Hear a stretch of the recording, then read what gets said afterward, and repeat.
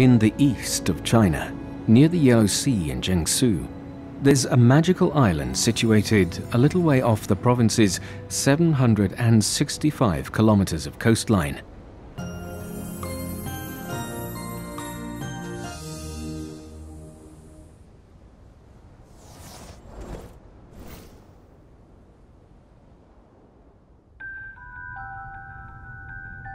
Covering an area of less than 0.2 square kilometers, Qinshan Island is 1,000 meters long from east to west and 200 meters in width. From the air, the island looks for all the world like a giant Chinese salamander with a huge bulbous head.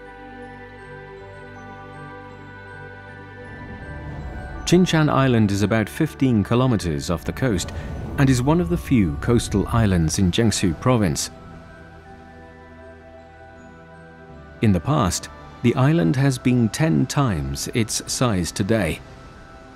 However, thousands of years of erosion have seen the rock consumed by the sea little by little, eventually spitting out this small fish-like island. The long tail of this fish appears and disappears at regular intervals with the rise and fall of the tides. It is 2.6 kilometers long and has existed for at least 2,000 years.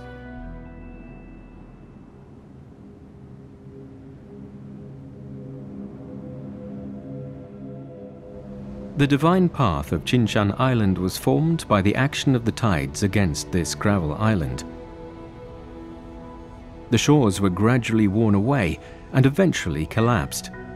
The debris drifted in the currents round to the south side of the island and was gradually deposited under the waterline for a stretch of over 10 kilometers.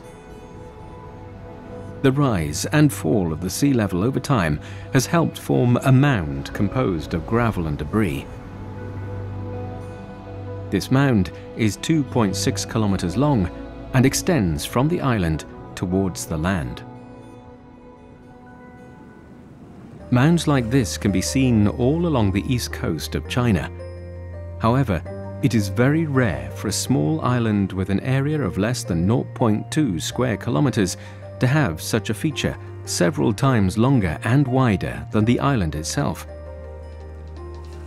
It is known as the longest natural avenue at sea in China.